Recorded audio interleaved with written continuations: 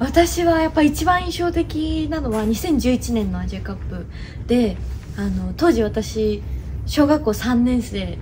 だったんですけどやっぱりリータ・ダナリ選手のボレーシュートは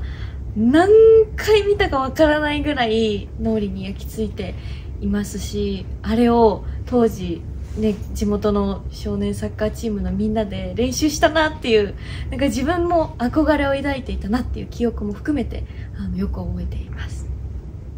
ボレーシュート練習して成功したことはどうでした、はい、あのーなんだろうやっぱり私センスがないのでみんなができてるのに自分だけできなかったなみたいな悔しさもありつつやっぱり自分が